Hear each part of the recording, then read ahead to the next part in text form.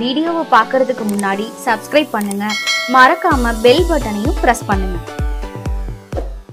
கரூர் காந்தி கிராமத்தில் அரசு மருத்துவக் கல்லூரி மருத்துவமனையை முதல்வர் எடப்பாடி பழனிசாமி சென்னை தலைமைச் செயலகத்தில் இருந்தபடி காணொலி காட்சி மூலமாக திறந்து வைத்தார்.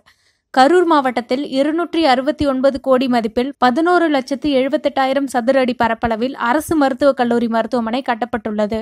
இந்த மருத்துவக் கல்லூரி கட்டுவதற்காக மறைந்த முன்னாள் முதலமைச்சர் ஜெயலலிதா இருநூற்றி இருபத்தி ஒன்பது கோடி நிதி ஒதுக்கீடு செய்து உத்தரவிட்டார். ஆனால் கூடுதலாக நாற்பது கோடி தேவைப்பட்ட நிலையில் அதனை ஒதுக்கி தமிழக முதலமைச்சர் எடப்பாடி பழனிசாமி அறிவித்தார். பணிகள் முழுவதுமாக நிறைவு பெற்ற நிலையில் மருத்துவக் கல்லூரி மருத்துவமனையை இன்று காணொலி காட்சி மூலம் முதல்வர் துவங்கி வைத்தார். இந்த மருத்துவக் கல்லூரியில் நூத்தி ஐம்பது மாணவர்கள் தங்களின் மருத்துவ படிப்பை தொடங்க உள்ளனர். நாளை முதல் எம்பிபிஎஸ் படிப்பிற்கான வகுப்புகள் துவங்க உள்ள நிலையில் இன்று கல்லூரியை முதல்வர் துவக்கி வைத்தார். இது தமிழகத்தில் துவக்கப்படும் இருபத்தி மூணாவது மருத்துவக் கல்லூரி என்பதும் குறிப்பிடத்தக்கது.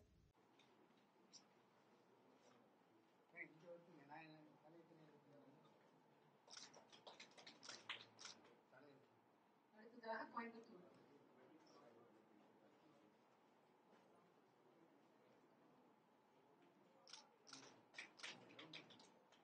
Grande